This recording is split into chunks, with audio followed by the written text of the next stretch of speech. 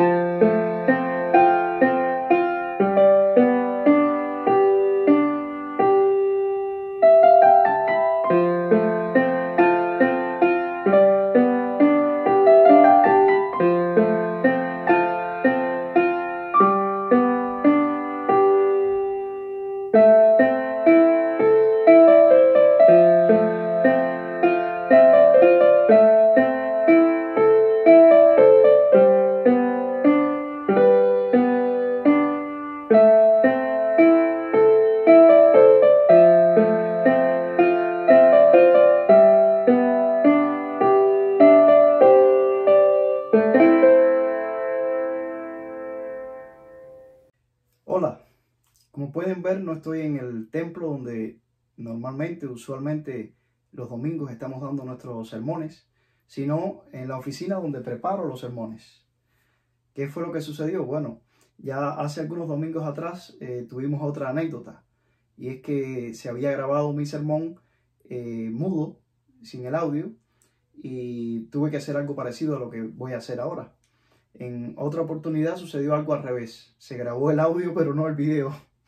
Y entonces ustedes recuerden que fue un sermón donde pude poner el audio y encima del audio pues ustedes pudieron ver eh, diapositivas, eh, fotos, imágenes.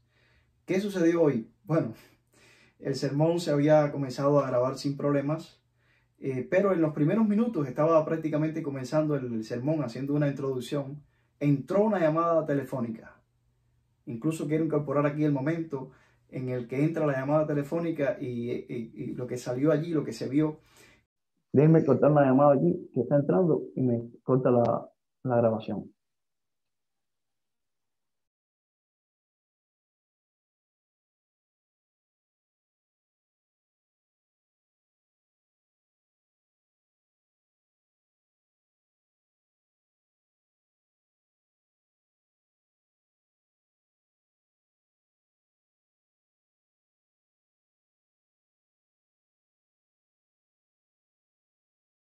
Eh, porque el sermón se estaba grabando bien, pero por misterios del Zoom, que es a través del cual yo hago la grabación, y me es muy factible porque va directamente a la nube y yo después al llegar a mi casa pues puedo eh, hacer la edición, incorporarle la melodía de apertura que nuestra hermana María Victoria Erazo Olexa siempre nos aporta.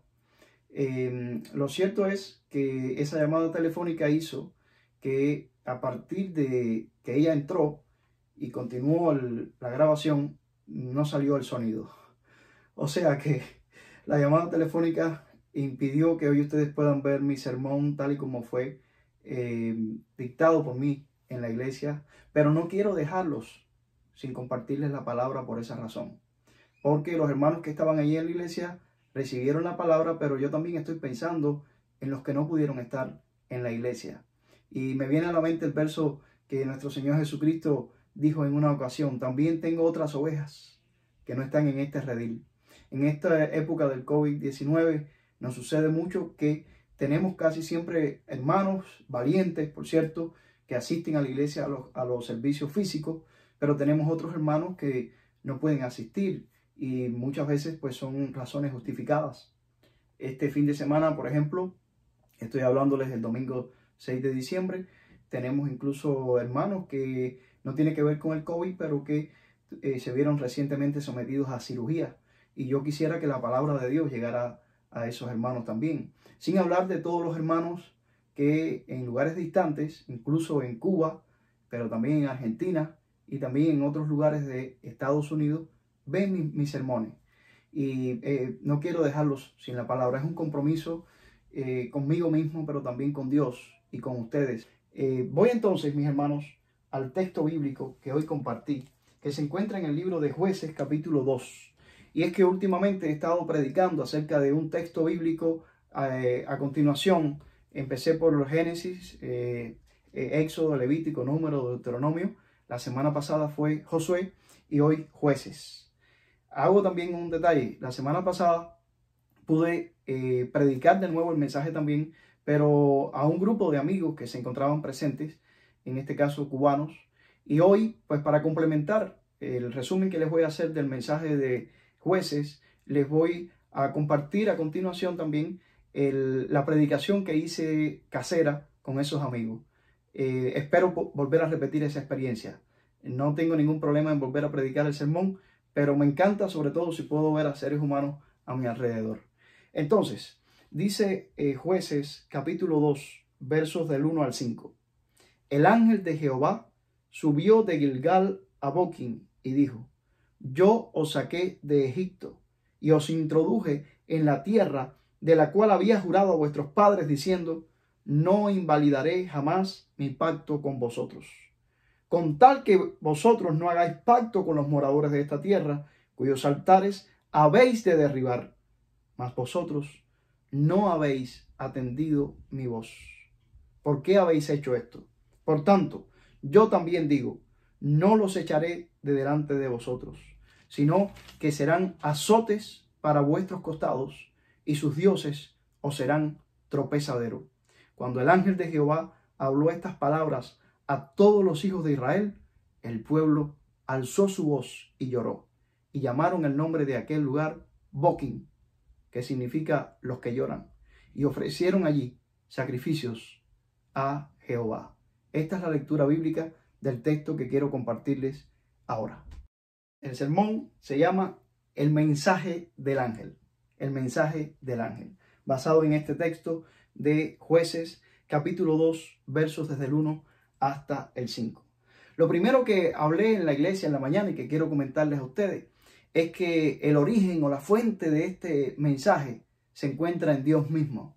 Por eso es que el verso número uno en su primera cláusula dice, el ángel de Jehová subió de Gilgal a Boquín y dijo. O sea, antes de hablarles del mensaje del ángel, quiero hablarles del mensajero, que en este caso se identifica como el ángel de Jehová. Y al identificarse así de esta manera, nos está diciendo que la fuente de este mensaje que fue dado al pueblo pues viene del mismo Dios. Dios siempre se ha revelado a la humanidad y lo ha hecho de muchas maneras, pero siempre ha hablado, siempre ha tenido sus mensajeros. En este caso el mensajero es muy especial, porque casi siempre que se utiliza la frase el ángel de Jehová en el Antiguo Testamento es para identificar a la persona del Hijo de Dios, lo que se conoce eh, por los teólogos como Cristofanías. Y de hecho, cuando predicamos la semana pasada acerca de el libro de Josué, eh, pues también eh, en ese pasaje el príncipe de los ejércitos de Jehová, con una espada desenvainada, habló con el propio Josué y todo indica que fue también una cristofanía. O sea que antes de que Jesús naciese, y eso es lo que celebramos en esta época hermosa de Navidad, Jesús, pero en, la, en, el ángel de Jehová se aparecía y hablaba Muchas veces era con una sola persona, como en el caso de Josué. A veces era con dos. Pero en, el, en este caso, el ángel de Jehová se aparece y habla con el pueblo, lo cual es lo que le da a este texto algo eh, realmente especial y particular. Porque el ángel de Jehová eh, se aparece al pueblo y habla con el pueblo. Así que es un acontecimiento sumamente especial. Eh, ahora bien, quiero resaltar aquí eh, no tanto el hecho de que haya sido el mismo ángel de Jehová, sino lo que les estaba diciendo antes, que Dios se comunica, que Dios se, nos ha hablado muchas veces y de muchas maneras y tiene sus mensajeros. Eh, no todas las veces que Dios se reveló en el Antiguo Testamento fue a través del el ángel de Jehová o el príncipe de los ejércitos de Jehová, sino que en otras ocasiones fueron otros ángeles. Y bueno, la Biblia dice que hay diferentes tipos de ángeles incluso, que hay querubines, que hay serafines. En fin, es un mundo en el cual prefiero no, no entrar porque el apóstol Pablo mismo decía que hay muchas cosas que no conocemos del mundo angelical. Pero lo que quiero resaltar es que Dios se comunica y que Dios ha usado sus mensajeros. Es más, a veces esos mensajeros no eran ángeles, eran hombres, eran seres humanos que en el Antiguo Testamento eran los llamados profetas. Ahora bien, la palabra ángel mismo se puede aplicar a los profetas, porque ángel significa mensajero. Y en ese sentido, pues, aunque no tengo cara de ángel, pues los pastores, los ministros de Dios, eh, somos también llamados ángeles, porque somos mensajeros de Dios. Y es más, cualquier creyente que comparta el mensaje de la palabra con otra persona está sirviendo de ángel, en el sentido de que está sirviendo como mensajero. Y eso lo vemos, por ejemplo, eh, en toda la Biblia, pero en el libro de Apocalipsis, cuando eh, Dios a través de su ángel le dice a Juan que escriba cartas a las siete iglesias que estaban en Asia Menor, eh, Éfeso, Pérgamo, Teatira, Sardis, Filadelfia y y Esmirna también, ¿verdad? Y el, el ángel le dice, escribe al ángel de la iglesia en Éfeso, escribe al ángel de la iglesia en Esmirna, escribe al ángel de la iglesia en Pérgamo, escribe al ángel de la iglesia en Teatira, al ángel de la iglesia en Sardis, al ángel de la iglesia en Filadelfia, al ángel de la iglesia en la Odisea. ¿A quién se está refiriendo ahí cuando dice escribe al ángel? Se estaba refiriendo al pastor de la iglesia en ese momento.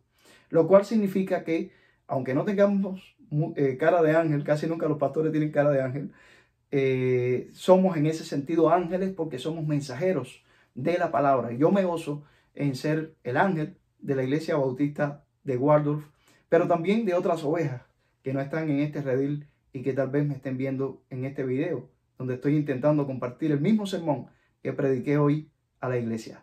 Al referirme a este tema de que los ángeles somos pastores, pues quiero comentarles, porque tal vez les asalta la curiosidad, que cuál sería esa llamada que interrumpió la grabación que estaba haciendo el pastor de su sermón, el mensaje del ángel esta mañana, cuando le estaba predicando en la iglesia. Bueno, no fue ningún mensaje de un ángel, pero eh, era un mensaje importante. Y es cierto, esto no suele ocurrir con frecuencia. Los hermanos de la iglesia pues, se dan cuenta que, de hecho, es la primera vez que esto me sucede, que la gente no me suele llamar en el horario de los domingos en la mañana, porque las personas que me conocen saben que a esa hora eh, estoy casi 100% al seguro predicando un sermón de la palabra de Dios. Y por lo tanto, pues si la persona me conoce, pues intenta no comunicarse. Pero esto se debía a una situación que también tiene que ver con un pastor y por lo tanto tiene que ver con un ángel. Un pastor que es amigo mío y que vive en Cuba y que a esa misma hora debería haber estado predicando su sermón. Es el pastor Daniel Josué Pérez Naranjo. Es un hombre de Dios que ha vivido toda su vida en Cuba predicando el Evangelio. Es más, su padre también fue pastor y predicador.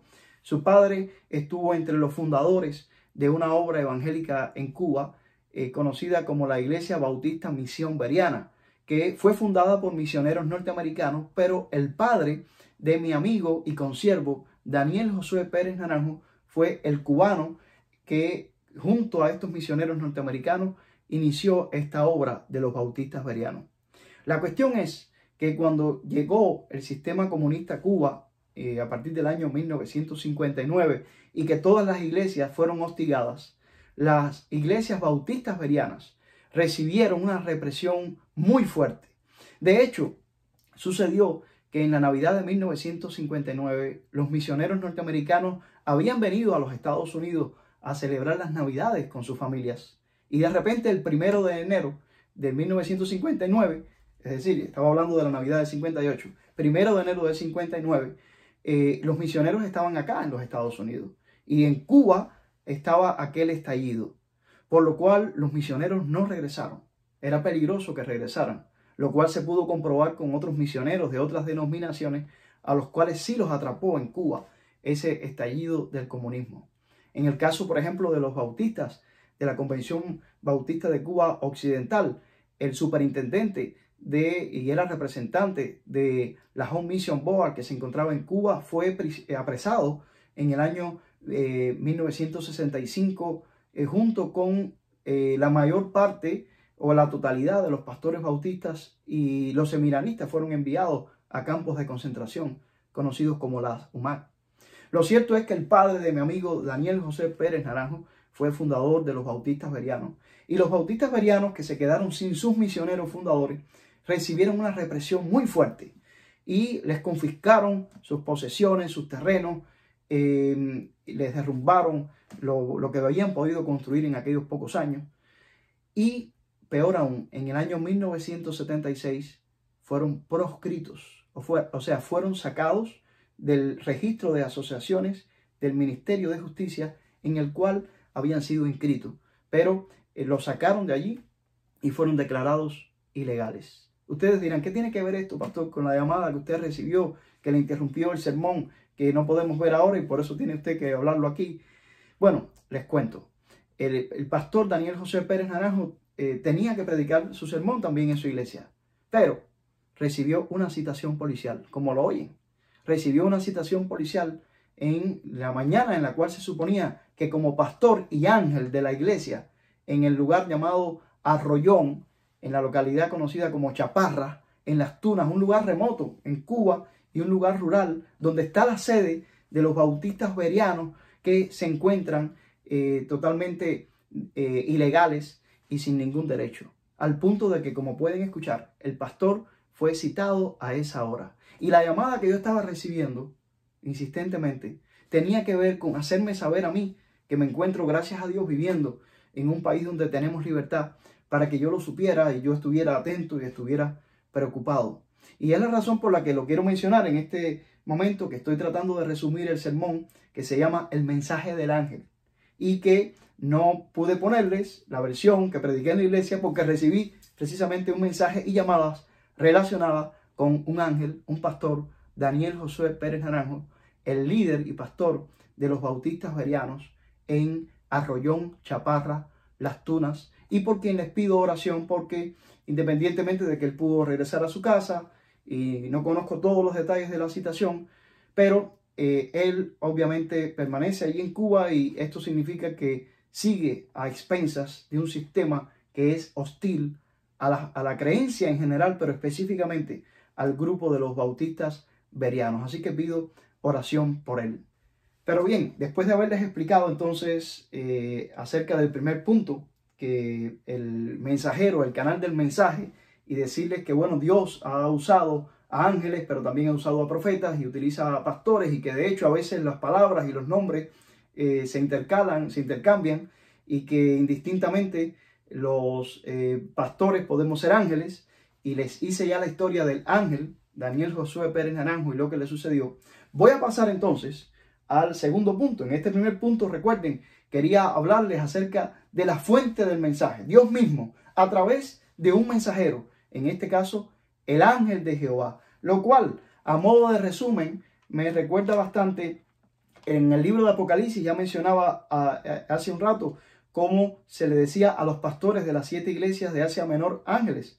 Pero eh, al hablar del mensaje y de que Dios es el origen, me encanta ese inicio de Apocalipsis, cuando en el capítulo 1 dice la revelación de Jesucristo, que Dios le dio para manifestar a sus siervos las cosas que deben suceder pronto.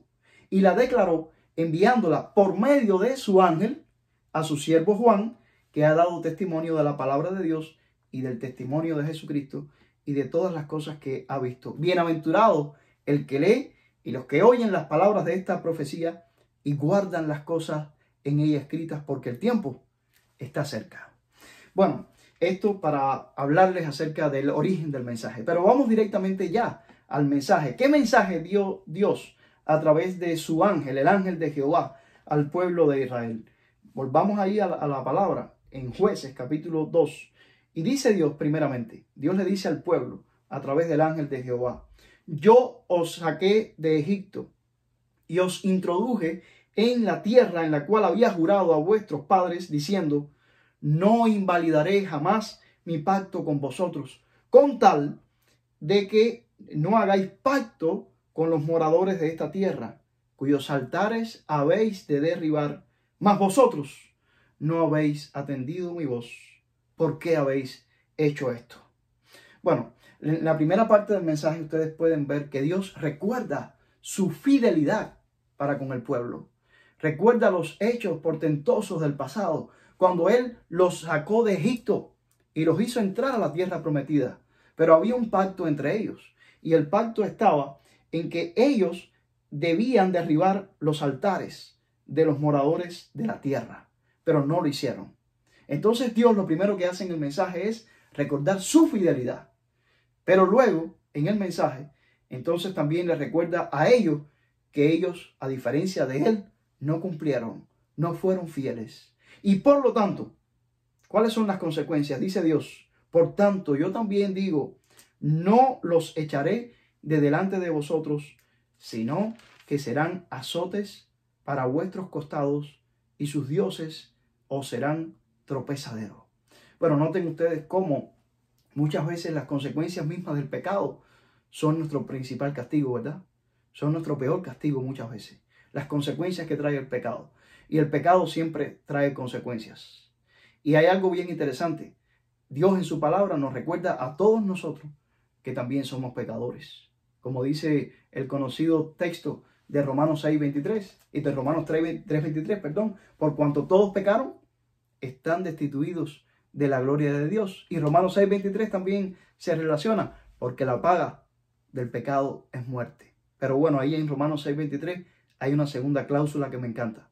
Mas la dádiva, el regalo de Dios es vida eterna en Cristo Jesús, Señor nuestro. Pero noten ustedes que hay una semejanza entre el mensaje del ángel de Jehová al pueblo, ustedes han pecado, y el mensaje de la palabra a nosotros, también nosotros hemos pecado. Pero, mis amados hermanos, ¿cuál fue la reacción, el resultado de ese mensaje que transmitió el ángel de Jehová de parte de Jehová al pueblo? ¿Cuál fue el resultado? Bueno, el resultado se encuentra a continuación en los versos 4 y 5.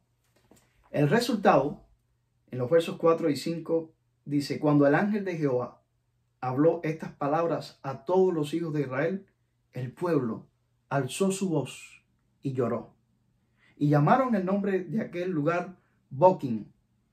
Y debajo hay una nota aquí en mi Biblia que dice, significa los que lloran. Y ofrecieron allí sacrificios a Jehová. Qué bueno que el resultado del mensaje transmitido por Dios a su pueblo a través de su mensajero, a través del ángel de Jehová, fue que el pueblo se arrepintió. Qué bueno que también como resultado del mensaje de la palabra de Dios en nuestras vidas, nosotros actuemos con arrepentimiento, reconociendo nuestros pecados, humillándonos delante de Dios, reconociendo que hemos desobedecido, reconociendo que hemos sido rebeldes y que por nuestra causa fue que precisamente Jesús, el Hijo de Dios, tuvo que venir a este mundo para morir por nosotros, sustituyéndonos en la cruz, para ser el Cordero de Dios que quita el pecado del mundo. Qué bueno que nosotros, reconociendo, como reconoció aquí el pueblo su pecado, nos arrepintamos. Arrepentimiento significa tanto reconocimiento de la culpa como la decisión de cambiar de dirección. Qué bueno que tú lo hagas también, igual que yo lo he hecho. Reconociendo nuestros pecados, hemos decidido cambiar de dirección, aceptando en Jesús nuestro Salvador. Y bueno, dice que el pueblo, además de reconocer su pecado, adoró a Dios porque dice que ofrecieron allí sacrificios a Jehová. Usted me dirá, ¿es necesario ofrecer algún sacrificio? Bueno, el sacrificio lo hizo completo Cristo en la cruz por nosotros. No hay nada que podamos añadir nosotros a esa salvación tan grande que Dios nos ha dado.